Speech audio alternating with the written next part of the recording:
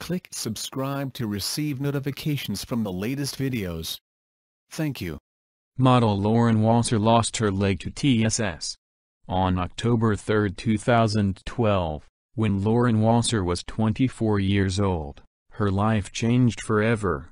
She was young, beautiful, and modeling in Los Angeles. That day, she had her period and went to the store to get tampons. After putting one in, she began feeling sick, but attributed it to the start of flu season. That night, she went to a party where her friends told her she looked ill and should go home. She drove home and immediately went to bed. The next thing Wasser remembers is waking up to a police officer at her front door. I remember coming to and hearing the sound of my cocker spaniel, Madison, barking out of control, she wrote in a recent piece for InStyle. She was trying to get me up because someone was knocking on my front door. Wasser's mother had called the cops asking for a welfare check.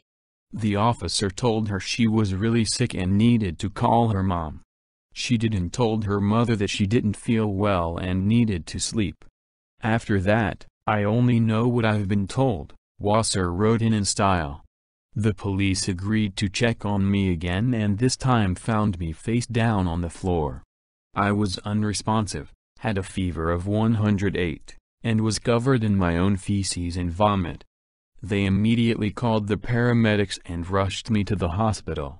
An infectious disease specialist was called in and discovered Wasser was wearing a tampon when she arrived at the ER. He sent it to the lab for testing and three days later the results came back with signs of TSS1, toxic shock syndrome.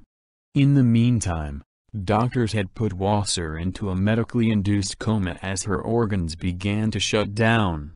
When she awoke a week later, she weighed 200 pounds. Her weight had ballooned due to the fluids she'd been given to stabilize her blood pressure. She remembers her feet feeling like they were on fire. In a video interview with Style Like It, Wasser recounts being in her hospital bed alone and overhearing a nurse say that she'd need to have her right leg amputated below the knee. Hearing those words out of her mouth and being by myself it was so surreal, she said in the video. I'm an athlete, I'm 24 years old, she continued through tears. I'm just a girl. I had my whole life. My legs were my life. Thank you for watching this video. If you find this video interesting please like and share to many friends know.